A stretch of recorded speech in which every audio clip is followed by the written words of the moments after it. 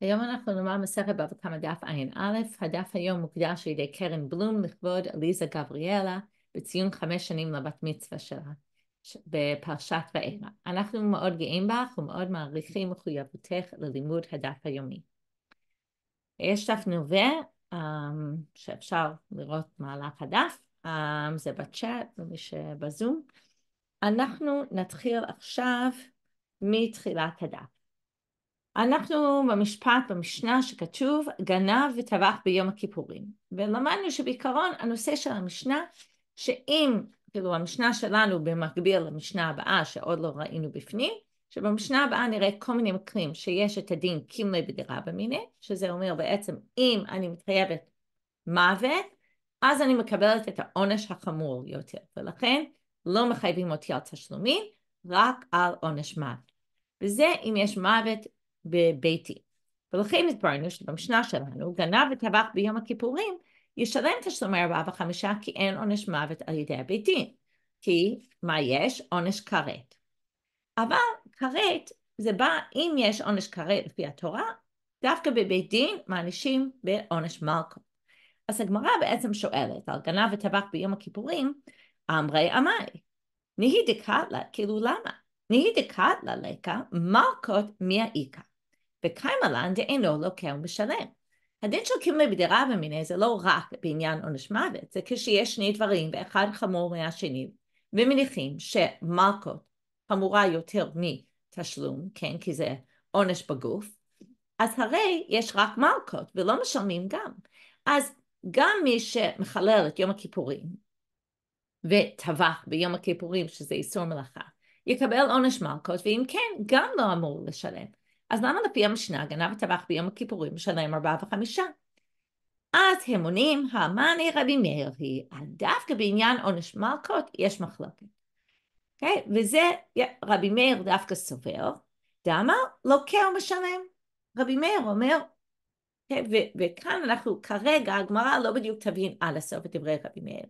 למה אומר לוקח ומשלם, אבל כנראה, כאילו הם יודעים שרבי מאיר אומר לוקח ומשלם, ולכן הם אומרים, זאת הסיבה. המשנה שלנו, ונחזור לעניין הזה בסוף השיעור בעצם, המשנה שלנו דוגלת רק בשיטת רבי מאיר, לפי זה. Okay, אוקיי? בסוף, בסוף, בסוף הגמרא היום, או לקראת הסוף, כי אחר כך נתחיל סוגיה חדשה, אבל בסוף הסוגיה הזאת, הגמרא בעצם תשאל מה פתאום זה לרבי מאיר, זה לא כפי אחרים, ויקשו על זה.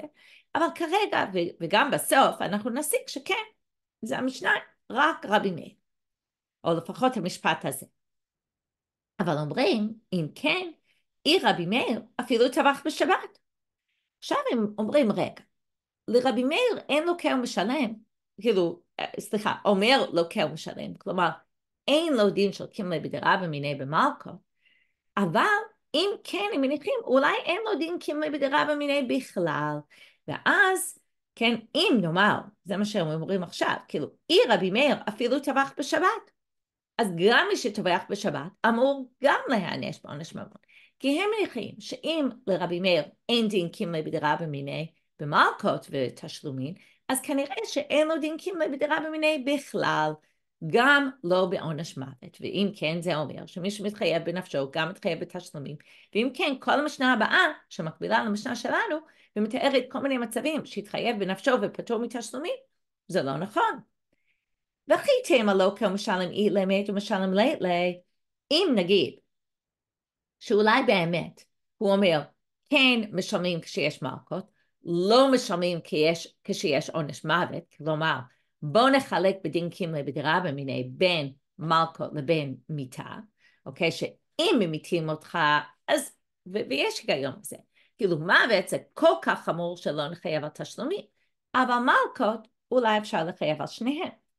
אבל הם, הם בעצם, זאת תהיה המסקנה שלנו בסופו של דבר, כן? רק שלא תתבלבלו לגמרי כאן. אבל הגמרא כרגע מציגה את זה ומביאה קושי על ההנחה הזאת, כן? שבסופו של דבר אנחנו נפתור את הקושי. אבל כרגע הם מניחים, כי בסופו של דבר זה באמת נכון. כולם אומרים קימלי בדירה במיני במוות, והמחלוקת היא רק במלכות. אבל כרגע הגמרא שואלת כאילו הם לא יודעים את הסוף, אוקיי? הם לא יודעים שזאת תהיה המסקנה. והם שואלים ומנסים להגיד, אם אנחנו באמת רוצים להגיע למסקנה שזה באמת המסקנה, שרבי מאיר במלכות הוא יגיד אפשר להלקות וגם לשלם, אבל במוות לא, okay, אוקיי? וזה יפתור את כל הבעיה, כי אז המשנה מסתדרת בול לפי רבי מאיר, כשיש כרת וזה אומר מלכות משלם, כשיש עונש מוות במשנה הבאה לא משלם תשלומי ארבעה וחמישה, אבל ולא, מה אפשר להגיד כזה דבר? והתניא הרי כתוב בברייתא, והברייתא הזה זה מה שנעסוק בו לאורך רוב הסוגיה עכשיו.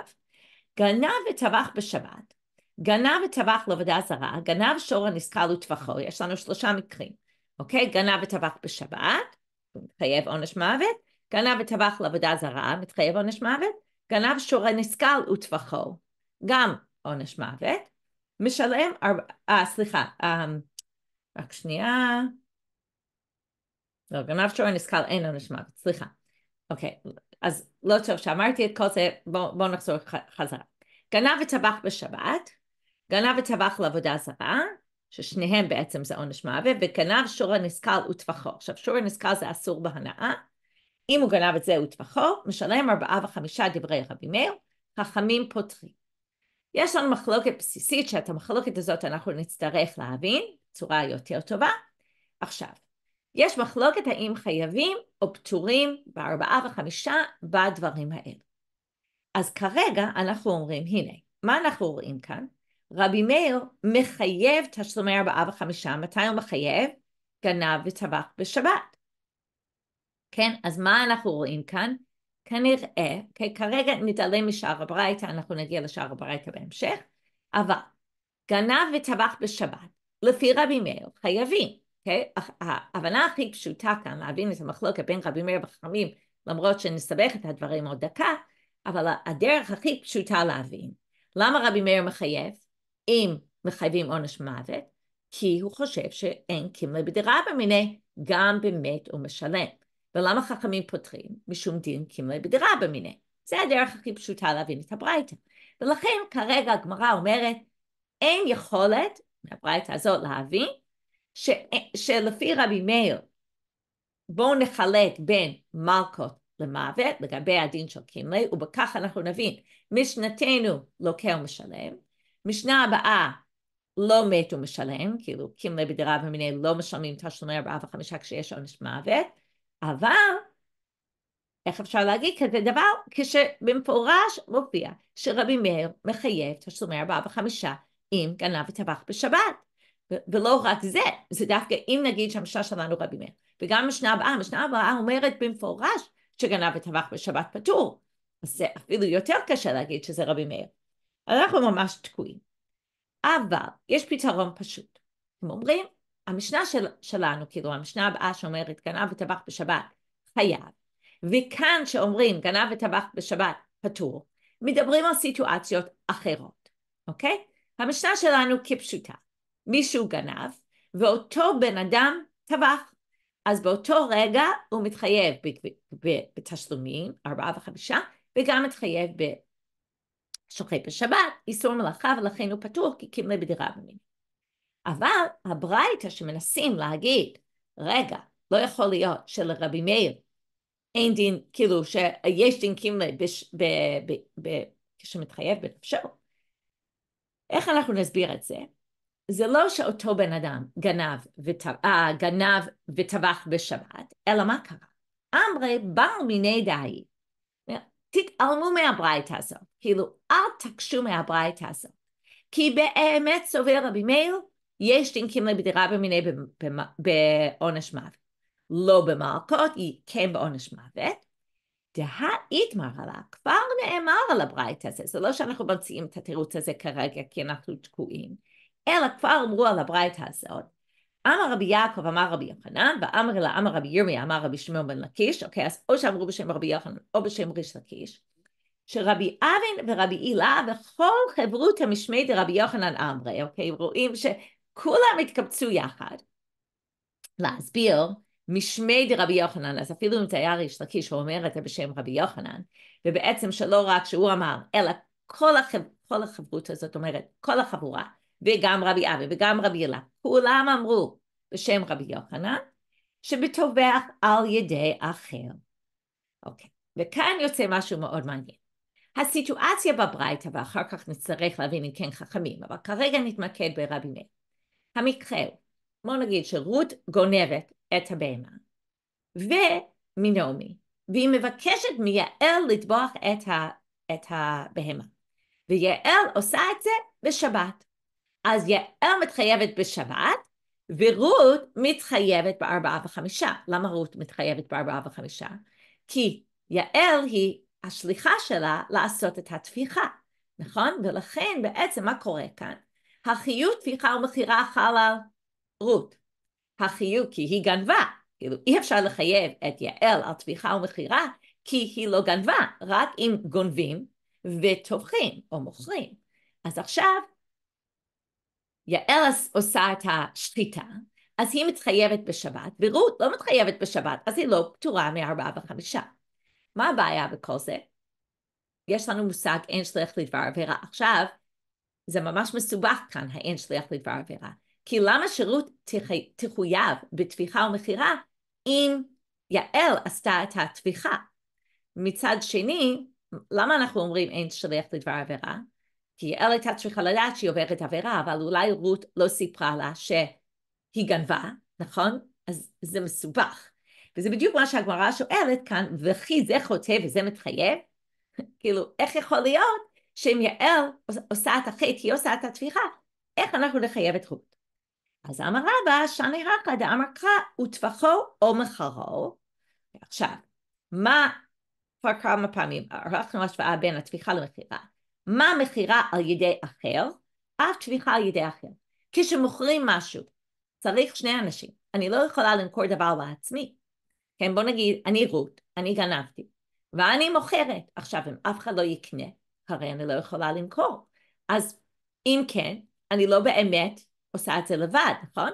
אז גם התפיחה, אם אני עושה את המכירה הזה יחד עם מישהו אחר, אז גם התפיחה יכולה להיעשות על ידי מישהו אחר, אבל עדיין, כאילו אם אני מוכרת לך, את חלק מהעניין, אבל את לא מתחייבת בכלל.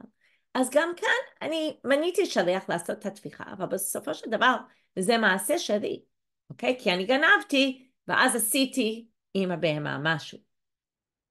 דיבר רבי ישמעאל תנא, יש לנו עוד שני מקורות כדי להגיד. בדרך כלל אנחנו אומרים אין שליח לדבר עבירה, זאת אומרת אם אני תשליח לעשות עבירה בשבילי, העבירה זה על השליח, אבל יש שתי ברייתות כאן, שבעצם מוכיחים את זה מהפסוקים, שכאן יש לנו יוצא מן הכלל. אם אני ממנה שליח לעשות את הטביחה, אני מתחייבת ולא השליח. Okay, אוקיי? וזה בדיוק הנקודה שראינו, וזה בדיוק מסביר למה לפי רבי מאיר כאן, אם טבחתי על ידי אחר, מיניתי מישהו אחר לעשות את הטביחה, הם טבחו את זה בשבת, הם חייבים מיתה, ואני מתחייבת בגניבה ובתשלומי ארבעה וחמישה. אז הנה שתי הברייתות, דיבר רבי ישמעאל תנא, או לרבות את השליח. למה כתוב וטבחו או מחרו? הרבה פעמים בתורה כתוב וטבחו ומחרו והכוונה זה או, אז המילה או באה לרבות את השליח. שבעצם אם אני מניתי שליח אני עדיין מתחייבת. ובתנא חזקיה תחת לרבות את השליח. בגלל שכתוב חמישה בקר ישלם תחת השור, וזה תחת השה, אז התחת בא להגיד גם שליח. זאת אומרת, כן, לעומת שבדרך כלל אומרים אין שליח לדבר עבירה, כאן יש שליח לדבר עבירה. אני ממנה שליח לעשות את התפיחה או המכירה, אני מתחייב. מה כפלה מרזוטרה? אוקיי, עכשיו מרזוטרה שואל, וזה שאלות מאוד מאוד מעניינות לגבי העניין של שליחות וזה. מי כמידי דאילו עבד איהו לא מחייב, ועבד שליח הוא מחייב? אבל רגע, אם רות שגנבה שוחטת את הבהמה בשבת, היא פטורה משום דין קימלי בדירה במיני, לא חייבת, נכון? אז איך יכול להיות שיש מצב שברגע שהיא ממנה שליח, השליח יהיה חייב במשהו שאפילו היא בעצמה לא הייתה חייבת. בדרך כלל, כן, איך אני יכולה להיות חייבת אם אני תשליח לעשות משהו שאילו עשיתי בעצמי, הייתי פטורה. עכשיו שהם עושים אני חייבת, נכון? יוצא משהו מאוד, מאוד מעניין כאן. ששוב, בואו בוא נעבור על הפרטים. רות עושה את זה, היא מתחייבת עונש מוות באותו רגע, ולכן היא פטורה מתשלומים.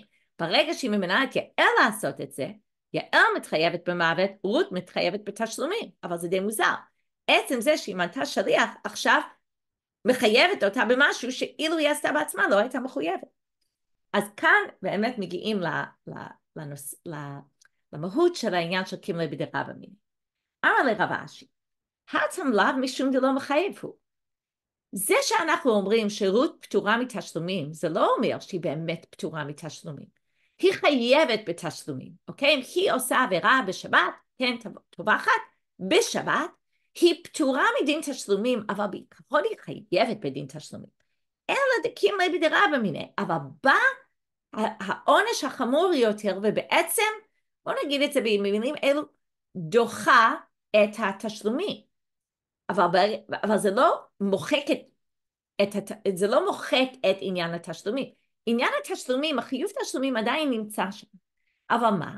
פשוט אי אפשר לחייב אותה בגלל קימלי בדירה במיני. אבל ברגע שאין קימלי בדירה במיני, היא בעיקרון כן חייבת. ולכן זה שאם יעל עושה משהו שאילו היא עשתה לה בעצמה היא הייתה פטורה, היא רק פטורה משום שיש עליה עונש מוות. אבל עדיין החיוב תשלומים נמצא שם, זה לא שמוחקים את זה.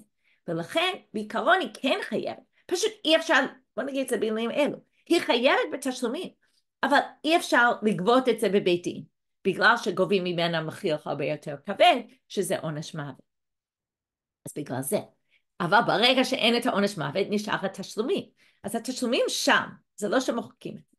אז זה עניין מאוד מעניין לגבי איך רואים את העניין של קימלי בדירה במיני. כן, בעיקרון היינו יכולים לראות את זה, הקימלי מוחק לגמרי את התשלומים. אז בטוח לפי רב אשי זה לא כך. אוקיי, אז זה הכל היה להסביר, אוקיי, איך התחלנו, בואו נחזור שנייה.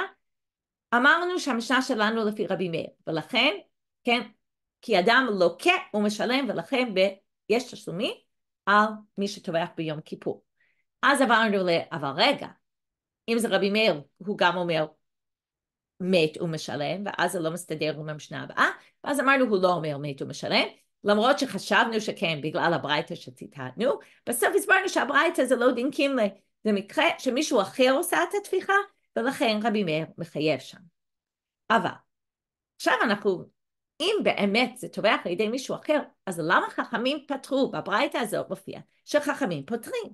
אז אם טובח על ידי אחר, מה איתם את הרבנן דפתרי? למה רבנן פתרו אם כן? אמרי מן חכמים רבי, אה, רבי שמעון. ואמר שחיטה שאינה ראויה לא שמה שחיטה. רבי שמעון אומר שאם אנחנו שוחטים וזה לא שחיטה כשרה, אז זה לא נחשב שחיטה. עכשיו בואו נעבור על הברייתא, אוקיי? בברייתא והבאתי את שלושת המקרים בברייתא בטבלה בצד השני, בדף השני של הדף נובע בעמוד השני. עכשיו, יש לנו גנב וטבח בשבת, גנב וטבח לעבודה זרה וגנב שורה נשכר וטבחו. אז עכשיו אנחנו אומרים כל השחיטות האלו כנראה, הסיבה שחכמים פותרים, כי כדי להתחייב בגנב וטבח צריך טביחה שהיא כשרה, צריך שחיטה כשרה. עכשיו, בשלמה, אמרי בשלמה עבודה זרה ושור נשכר, שחיטה שאינה ראויה היא. כן, אם אני שוחטת בהמה על עבודה זרה, ברור שהבהמה הזו אסורה בהנאה. אם כן, אני לא יכולה לאכול, אם כן זה לא נחשב שחיטה. אם כן, לפי חכמים, אני פטורה מגניבה וטפיחה. כאילו, אני חייבת על הגניבה, לא על הטפיחה, כי עשיתי שחיטה שאינה כשרה, ושוב, הם סוברים כרבי שמעון, ששחיטה שאינה ראויה לא שמה שחיטה. יש כאלה שחורקים על זה וחושבים מה זה אומר. אז שחטתי, עשיתי פעולת שחיטה, מה זה משנה אם הבהמה כשרה לאכילה או לא כשרה לאכילה. אז זה מסביר עבודה זרה. שור הנשכר, זה שור ש... כן, כבר אנחנו מכירים את זה מתחילת המסכת, שנגח והרג בן אדם, וכן, חייבו אותו בבית דין, וחייבים לסקול את השור. או לא סקלו ואני שוחטת. עכשיו, אי אפשר לאכול, כי השור הזה אסור בהנאה. אז שוב, אם אני שוחטת, זו שחיטה שאינה ראויה, ולכן אני לא מתחייבת בגניבה וטפיחה. אלא שבת, שחיטה ראויה היא. אבל רגע, אם אני שוחטת בהמה בשבת, אני יכולה בסופו של דבר לאכול את הבהמה. מתי? זה מחלוקת בין שלושה, מחלוקת מפורסמת שלמדנו כבר כמה פעמים. דתנן, השוחט בשבת וביום הכיפורים. אף על פי שמתחייב בנפשו, שחיטתו כשרה, למרות שזה אסור. ואני מתחייבת בנפשי או בבית דין או על ידי שמיים, כן, שיום הכיפורים זה כרת, השחיטה עדיין כשרה. אז, אוקיי, זה משנה. אז אמרי, אוקיי, כרגע זה נשמע כאילו יש דעה אחת בנושא, והנה רואים זה שחיטה כשרה, אז איך אפשר להסביר את החכמים לפי זה? כן, המשפט הזה בברייתא, שגנב וטבח בשבת, לא מסתדר, כי אפשר לאכול.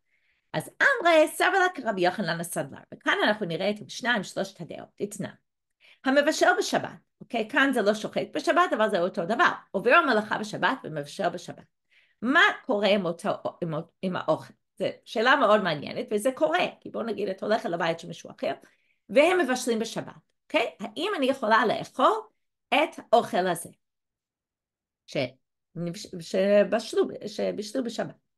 לפי רבי מאיר, אוקיי? ולזה גם יש טבלה בדף, חוזרים לעמוד, לחלק הראשון בדף, uh, בואו נראה את שלושת הדעות, יש לנו רבי מאיר, רבי יהודה ורבי יוחנן הסנדלר. אז בעצם מה שנגיד, הוא סובר כרבי יוחנן הסנדלר, שאנחנו נראה שהוא בעצם אוסר מה שנקרא מעשה שבת. משהו שעשיתי בשבת שאסור, איסור מלאכה, אסור לאכול, אוקיי? ואם כן, זה יסביר לנו למה הוא לא חייב על גניבה וטפיחה, כי לפי רבי שמעון זה שחיטה שאינה ראויה, שחיטה שאינה ראויה, כן, לא שמה שחיטה, הוא לא שחט, הוא לא מתחייב על טפיחה, כי זה לא שחיקה.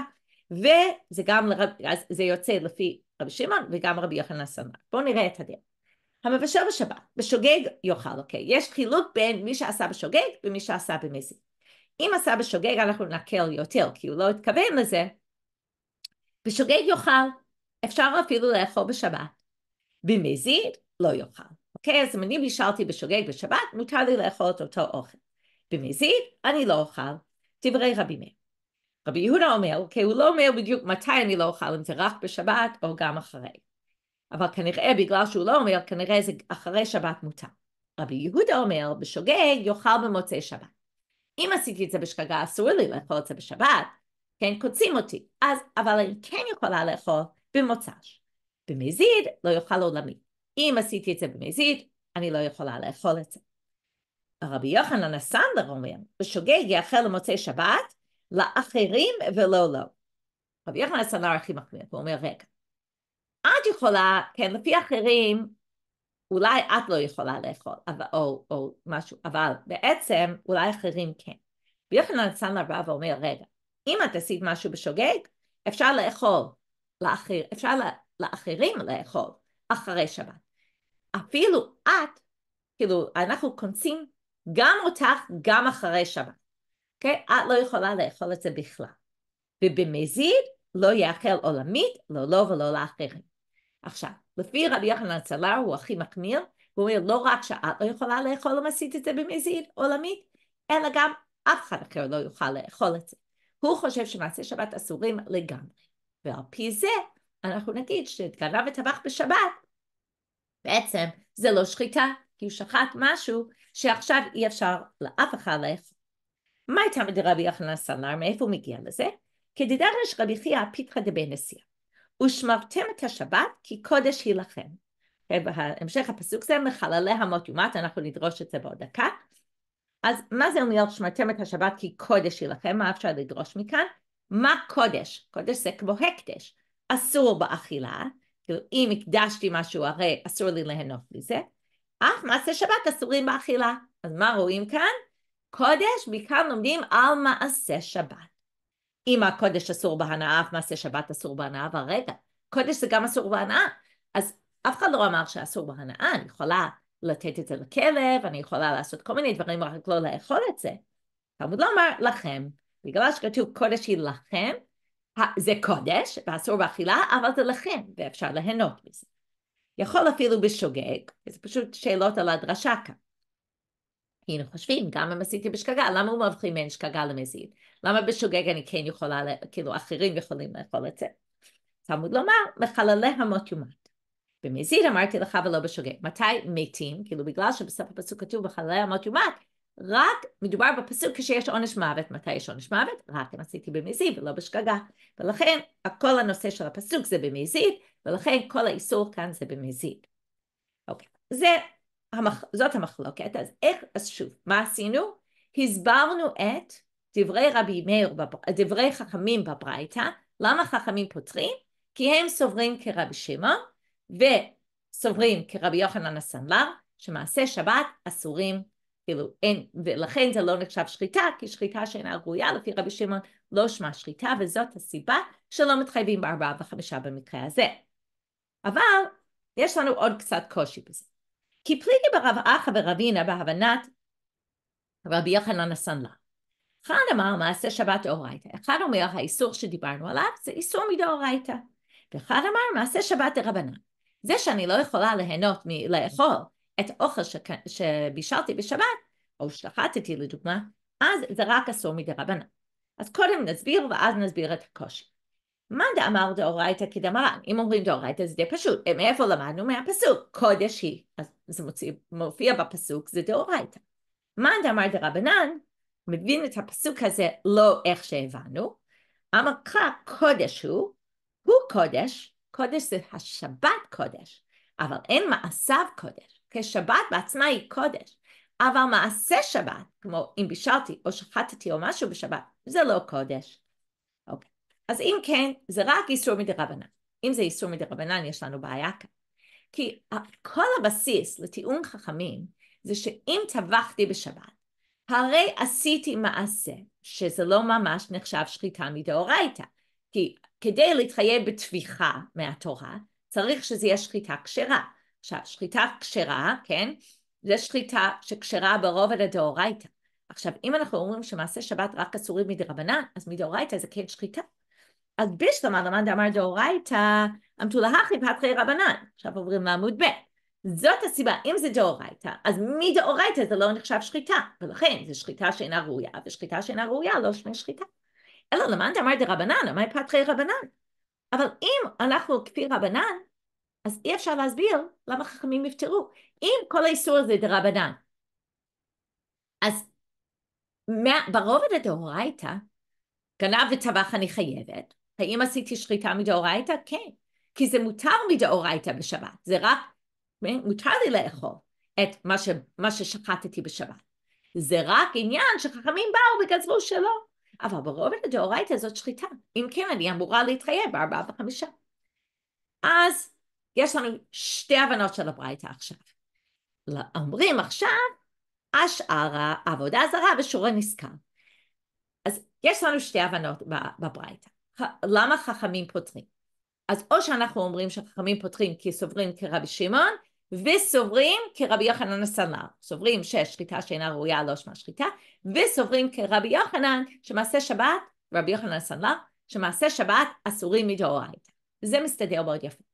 אבל אם הולכים כפי הבנה שמעשה שבת אסורים רק מדרבנן, אז הדרך היחידה להסביר את רבי יוחנן בברית, אה, את חכמים בברייתא למה פותרים, הפותרים זה לא קשור לשבת, הפותרים זה רק שני המקרים הבאים. גנב וטבח לעבודה זרה, כי זה לא שחיטה כשרה, וגנב שור הנזכר לטבחו, כי זה גם לא שחיטה כשרה. כי בשני המקרים האלו אי אפשר לאכול כי זה אסור בהנאה, כן, שור שנשחט לעבודה זרה וגם שור ש... שור הנזכר, שניהם אסורים בהנאה, וזה שחיטה שאינה קשורה, לא שמי שחיטה, אבל הם לא חולקים בעניין של שבת. גנב וטבח בשבת הם יסכימו עם, עם הרבי מאיר שמשלם ארבעה וחמישה. אז יש שתי הבנות והכל תלוי בהאם רבי יוחנן הסנדלר אמר שמעשה שבת אסורי מדאורייתא או מדרבנן. אם מדאורייתא, אז דברי חכמים מובנים כפשוטם על כל שלושת המקרים. אם זה דרבנן, אז זה רק על שני המקרים האחרונים. עכשיו בואו נחזור לרבי מאיר והטבח לעבודה זרה והשור הנזכר וטבח. הבנו את רבי מאיר גנב וטבח בשבת, כי זה איפה שהתחלנו, כי מה קרה? אני מתחייבת כי טבחתי על ידי אחר. נכון? מישהו אחר, רות גנבה, יעל שחטה, רות מתחייבת בתשלומים ויעל מתחייבת בעונש מוות.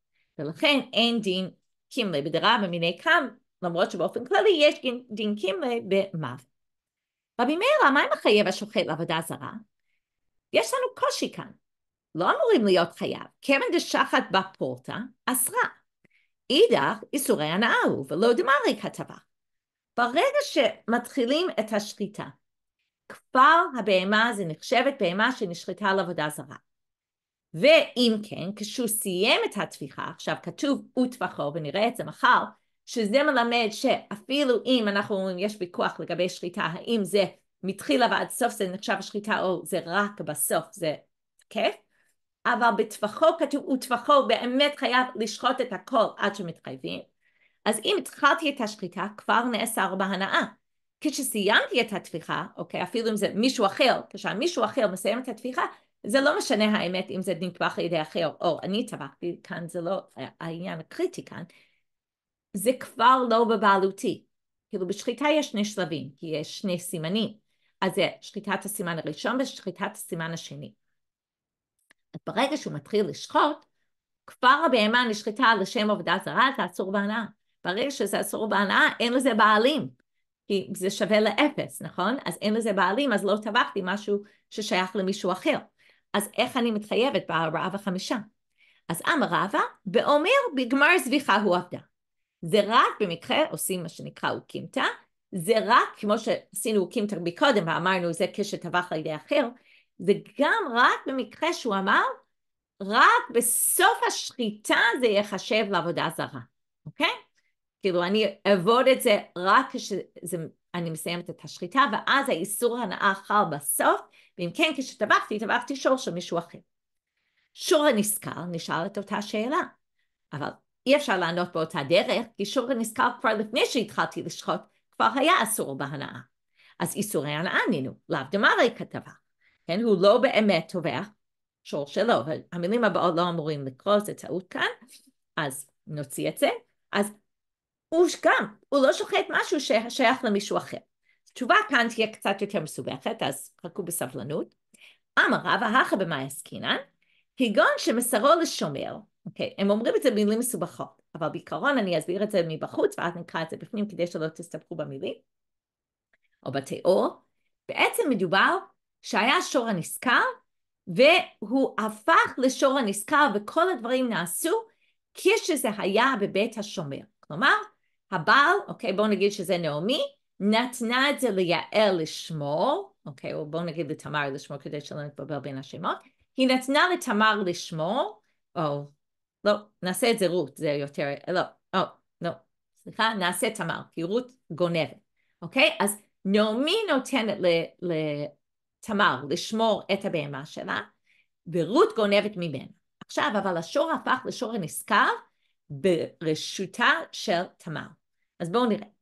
כגון שמסרו לשומר, אז בהמה בסדר לגמרי, השור הזה נמסר לתמר כדי לשמור.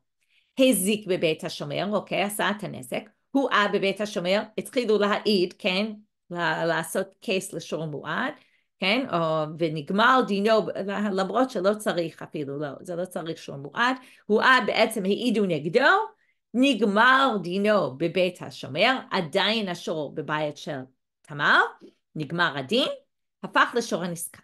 אוקיי, מה זה משנה? ואז רות גנבה וטבחה. אוקיי, לא משנה, אם היא טבחה, מישהי אחרת טבחה, זה לא קריטי. ורבי מאיר סבר לה כרבי יעקב, אוקיי? כאן אנחנו נראה, וסבר לה כרבי שמעון. הוא צריך גם כרבי יעקב, גם כרבי שמעון, בואו נראה באיזה עניין. אמרתי, צריכים קצת סבלנות להבין. סבר לה כרבי יעקב דאמר, אף מי שנגמר דינו, כאן אנחנו נבין למה זה חשוב שזה שומר, החזירו שומר לבעלים מוחזר, אוקיי? אם, זה כבר למדנו, אם בעצם נגמר הדין, עכשיו השור הנזכר שווה אפס, כי אנחנו נהרוג את השור הנזכר וזה אסור בהנאה, אבל בגלל שזה קרה בבית של השומר, ובגלל שהשומר לקח שור, ויכולה להחזיר שור וזה הזק שאינו נראה, זה שזה שור נזכר, אי אפשר לראות את זה, הבהמה אותו דבר, בעצם נראה אותו דבר, הרי אנחנו, העסק שאינו ניכר, בעצם תמר יכולה להחזיר את השור אם היא רוצה לנעמי. היא לא חייבת לפצות את נעמי על התשלום השווי של השור, היא יכולה להגיד שור לקחתי, שור החזרתי, למרות שהשור שווה אפס. וסבר לה כרבי שמעון, דאמר דבר הגורם לממון כממון דמי. עכשיו, השור הזה שווה אפס, כי אנחנו נסקול את השור ואסור להנאה. אבל זה ש... תמר יכולה להחזיר את השור לנעמי, ובכך להיפטר ממה שהייתה צריכה במקום זה, להוציא כסף מכיסה ולהחזיר לה את השווי של השור, זה מה שנקרא דבר גורם לממון, יש בזה שווי כספי. כי זה שיכול... עכשיו, מה קורה? בסיפור שלנו, תמר לקחה בתור שמירה את השור. היא בעצם, יש לה שתי אופציות, היא יכולה להחזיר כסף לנעמי, או היא יכולה להחזיר את השור. עכשיו, אם היא מחזירה את השור, כן, זה הכי טוב בשבילה, כי היא נפטרת מדין של תשלומי כסף, למרות שהשור הזה שווה אפס. עכשיו, ברגע שרות גונבת את השור ממנה, היא גונבת ממנה את היכולת להחזיר את השור. ועכשיו היא צריכה להוציא מכיסה את השווי של השור, כי אין לה את השור הזה ביד. כי אם היא הייתה מחזירה את השור, היא לא הייתה צריכה להוציא כלום. זה מה שנקרא דבר גורם לממון. ואם כן, למרות שהשור הזה הוא שור נזכר ושווה אפס, יש לזה שווי כספי. וזה רק אם סוברים כרבי שמעון שדבר גורם לממון כממון דמי. יש כאלה שאומרים דבר גורם לממון זה לא כממון דמי, כי באמת השור שווה אפס. אבל זה שעצם, כן, זה שהשור קיים ברשות של תמר, זה אומר שהיא יכולה להחזיר את זה לנעמי ולהיפטר מתשלום, יש לזה שווי כספי. אוקיי? אז אם כן, זאת הסיבה, ש... אוקיי, ואז זה רק במקרה הזה.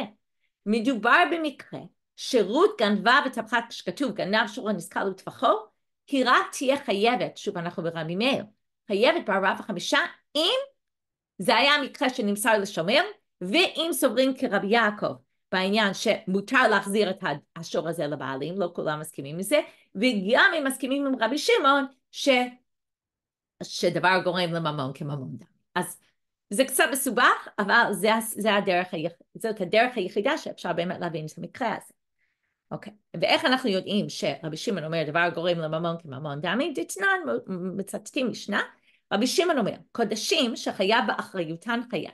יש שני סוגים של קורבנות, אני יכולה להגיד uh, קורבנות נדבה, הרי בהמה זו עליי, אז אם משהו קורה לבהמה אני לא חייבת להביא בהמה אחרת, אבל אם אני אומרת הרי עליי קורבן, ואני מביאה בהמה ומשהו קורה לבהמה בגלל שאמרתי עליי, אני חייבת באחריות, אני צריכה להביא בהמה אחרת.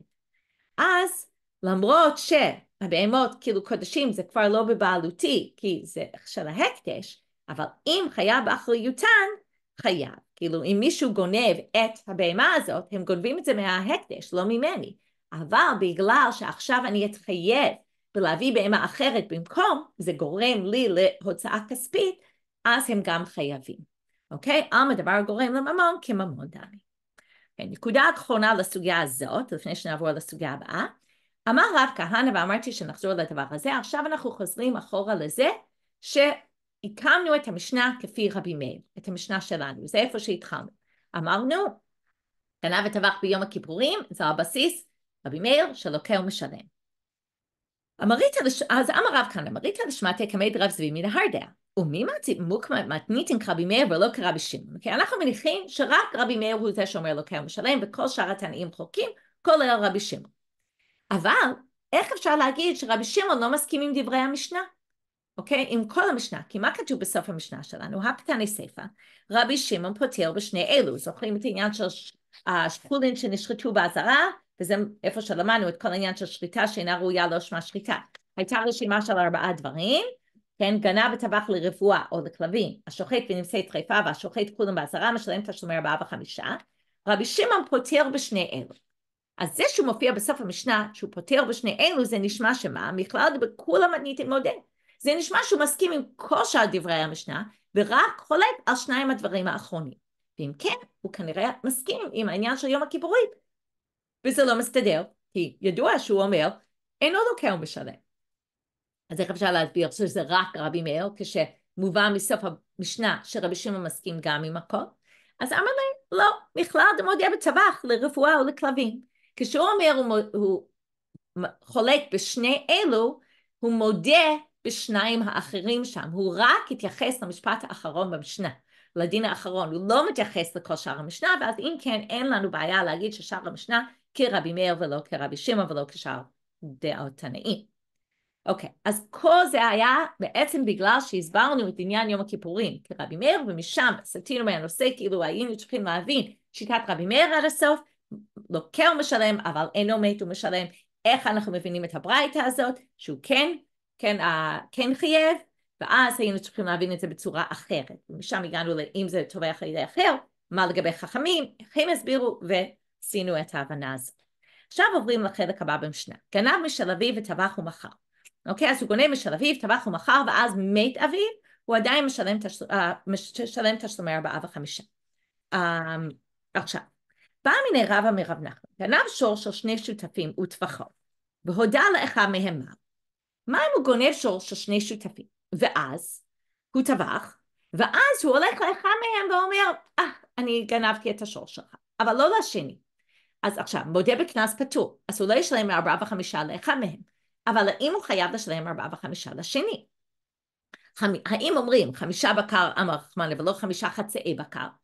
או דילמה חמישה בקר אמר רחמנה ואפילו חמישה חצאי בקר. איך אנחנו מבינים? האם אפשר חצי תשלום ארבעה וחמישה או לא?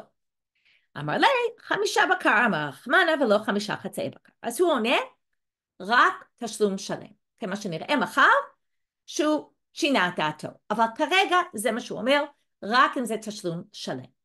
אז ATV, אז בעצם מביא, רבא שאל את רב נחמן, רב נחמן ענה, ורבא מקשה עליו ממשנתנו. גנב משל אביו וטבח ומכר, ואחר כך מת אביו, משלם תשלומי ארבעה וחמישה. עכשיו, מה קורה כאן? בסופו של דבר, מי מקבל את התשלום? האחים. הוא אחד מהאחים. עכשיו, זה שהוא לא ישלם לעצמו, זה כמו מקרה שהוא הודה למישהו אחר, נכון? כי אין תשלום מלא כאן. כי הוא לא צריך לשלם לעצמו, והוא אחד מאלו שיקבלו את הסכום. וההכה כיוון דמת אביו, כמו שקדם והודה לאחד מהם דמי, וקטן משלם ארבעה וחמישה. זה בדיוק דומה, כי עכשיו יש רק תשלום חלקי, כי הוא לא משלם לעצמו, והוא, כן, הוא חלק, מה, הוא גם בשני הצדדים כאן. אז אמר לי, הכה במאי עסקינן כגון שעמד אביו בדין.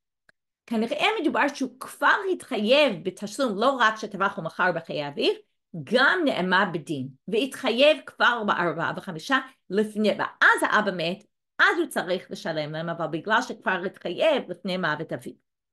אז אומרים, רגע, אתם רוצים להגיד, אבל לא עמד בדין, מה, אין משלם תשלומי ארבעה וחמישה? אתם בעצם אומרים שאם לא עמד בדין, והעמידה בדין זה אחרי, בגלל שחמישה בקר ולא חמישה חצאי בקר, הוא לא ישלם בכלל, הוא יהיה פטור, אבל אם כן זה לא מסתדר עם המשנה הבאה. כי מה מופיע במשנה הבאה? הכי דתני סיפא, גנב משל אביו ומת. אם גנב משל אביו ומת, ואחר כך טבח ומכר, אם הוא טבח ומכר במשהו חלקי שלו וחלקי של, של האחים, אינו משלם תשלומי ארבעה וחמישה. עכשיו, עצם הדין הזה לא מפריע לנו, אבל מה? אם באמת יש הבחנה בין אם הוא עמד בדין או לא הוא עמד בדין, היה צריך להופיע במשנה הבאה נפלוג בדידה, היה צריך להיות כתוב שם במשנה הבאה. במה דברים אמורים כשעמד בדין, אבל לא עמד בדין, אינו משלם תשלומי ארבעה וחמישה. כאילו אם כבר המשנה שלנו אומרת, יש מקרה שחייב, יש מקרה שלא חייב, אז היו צריכים להביא את הלא עמד בדין, ולא הביאו את זה. אז אמר להם, הכי נמי, עד נסיב רישא גנב משל אביו טבח ומכר ואחר כך מת אביו, נסיב ספר נמי גנב משל אביו ומת אביו ואחר כך טבח ומכר. הוא אמר בעצם המשנה פשוט, זה לא היה מקרה שמתחילים להגיד מתי במקרה זה. עצם זה שהמשנה שלנו ניסחה את זה בצורה כזאת, המשנה הבאה ניסחה את זה בצורה אחרת, אבל זה לא אומר שלא הוא עמד בדין באמת חייבים.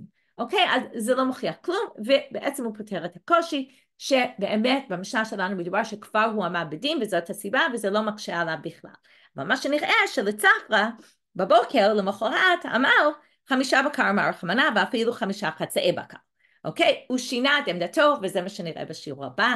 למה הוא שינה את דעתו וחשב בסופו של דבר שבאמת אפשר לשלם באופן חלקי. אוקיי? אז מה שעשינו היום, דנו במקרה של יום הכיפורים, משם, כפי שאמרתי כבר, הגענו לברייתא אחרת, מחלוקת בין רבי מאיר וחכמים בשלושה מקרים, וניסינו להבין במה מדובר, דיברנו על דברים מעניינים כמו אין שליח לדבר עבירה, אבל לפעמים כן, כן, בטבח ומחר זה משהו אחר.